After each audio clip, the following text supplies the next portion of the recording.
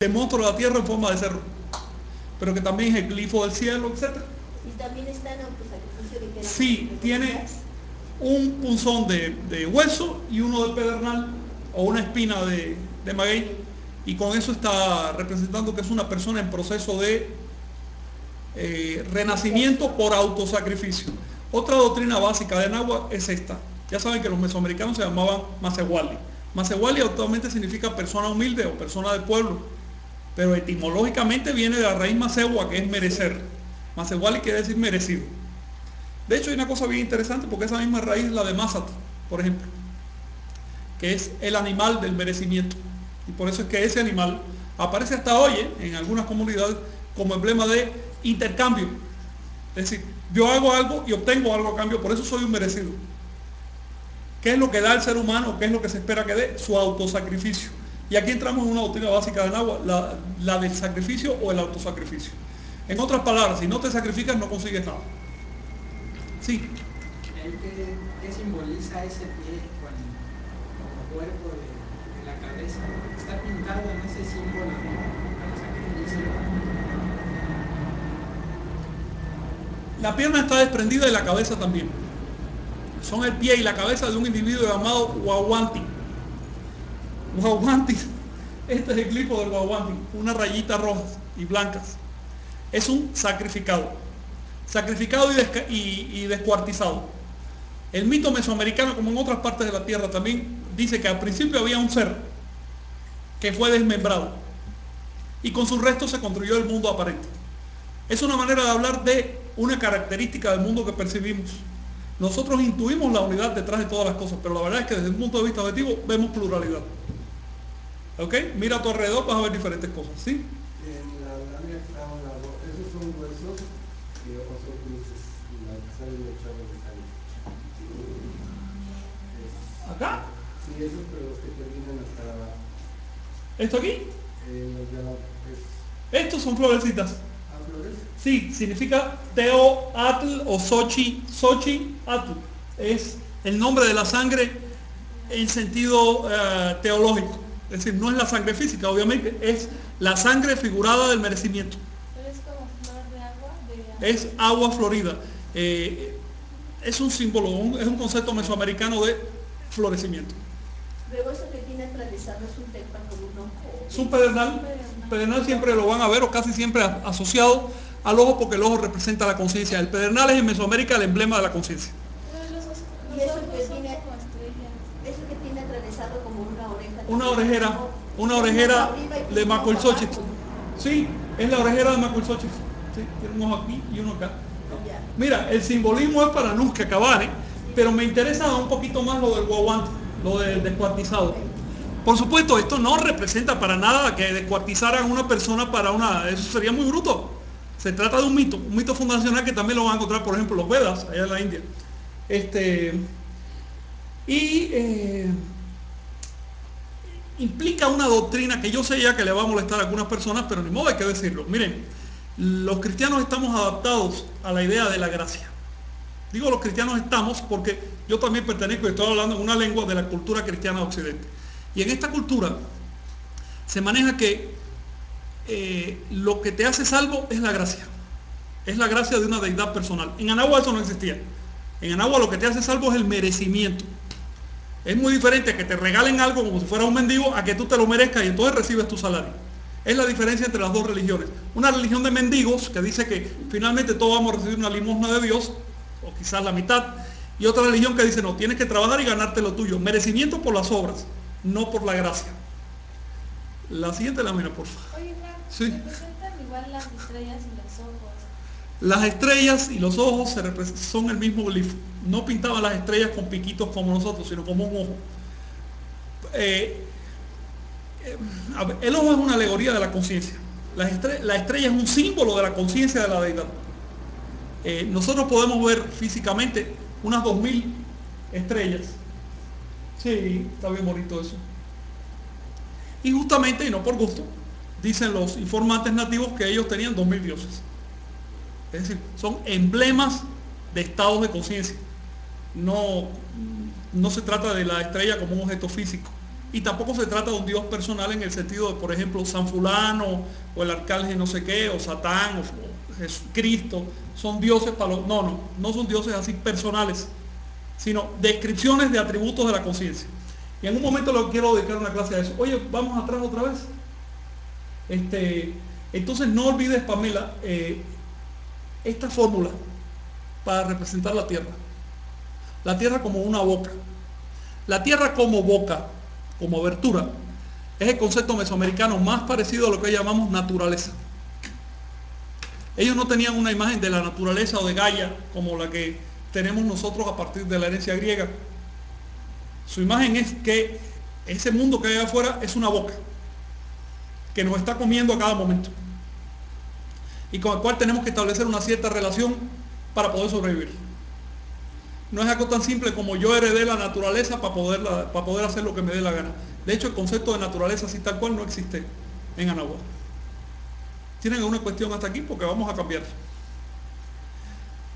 La siguiente. Ya les dije que este códice, como otro, se compone de varios capítulos. Aquí cerramos uno y entramos al otro. Síguele, síguele, ya eso lo estudiamos. Antes les había mencionado que este capítulo contiene qué cosa? Que se lee así en zigzag. Los nueve señores de la noche. Bien. Este, la, parte nocturna del día la dividía en nueve secciones. Y también eh, representan nueve noches en sucesión y también nueve días en sucesión. Así que estos nueve señores tenían un amplio uso en la cosmovisión para marcar nueve secciones de la noche, nueve noches en sucesión, en este caso, por supuesto, en combinación con 13 días para marcar el ciclo de Mercurio y nueve días en sucesión para hacer la semana mesoamericana de nueve días. Este, quiero que, que vean la insistencia en marcar el centro de la Tierra en asociación con la calavera, o con el esqueleto, en forma de una cruz una cruz como X. Eso representa el concepto de centro en Anagua, la cruz como X. Y es el centro de la tierra por excelencia. ¿Oyeron ese dicho norteamericano que dice, de los nativos del norte, que dice, allí donde yo estoy está el centro del mundo? ¿Por qué? Porque ahí donde yo estoy está mi muerte personal. Aquello que me va a empatar con todo lo demás de este mundo. La muerte está esperando para todo. No solo para todos los seres vivos, sino incluso para cada átomo de este mundo. Más allá del tiempo, todos estamos ahí, en ese momento que siempre, aquí ahora, en el centro de la existencia. Esto se los estoy diciendo como propuesta de ejercicio. Si no, no lo dejen solo en el intelecto, traten de aplicarlo. Hay fórmulas para eh, verificar si esto que proponían los antiguos es cierto o es simplemente una imaginación. Seguimos, por favor. Eh, vamos a pasar esta lámina. Hmm, sí, vamos a pasarla quiero llegar más bien a esta. A la anterior, es, el resumen de esa lámina. Este es Catlipoca y está rodeado de los 20 signos de la veintena en representación del tiempo. Tezcatlipoca entonces es el señor del tiempo. Tiene una función hasta cierto punto parecida a la de Cronos en la mitología helénica. Este, si tienen algo que comentar o preguntar sobre esta imagen. Me da mucho gusto verla así grande. Hmm. Observen que de la frente de Tezcatlipoca nace algo.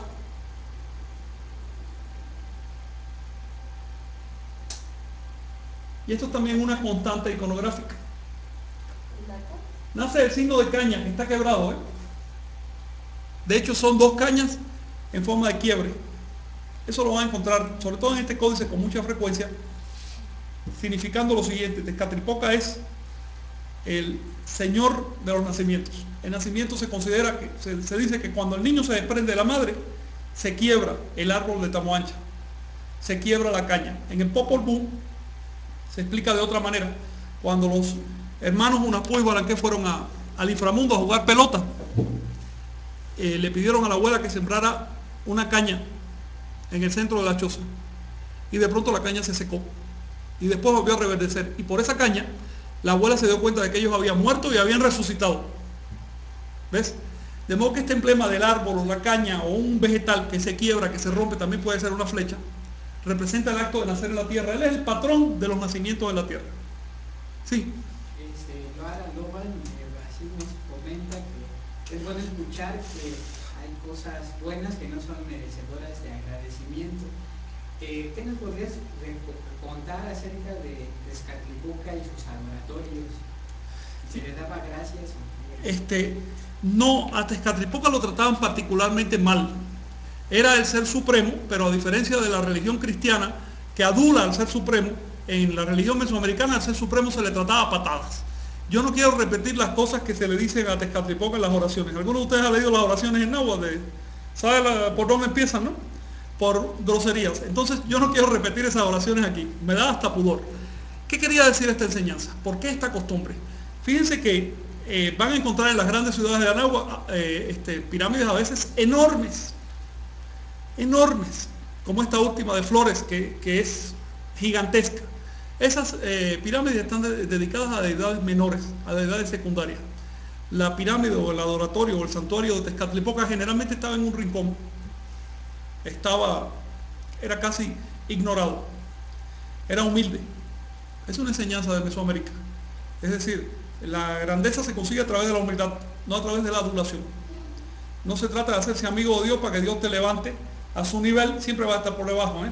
No, sino de que por tu propia fuerza y a base de humildad logres encumbrarte. Y ese es el mito, por ejemplo, de Nanahuatzi.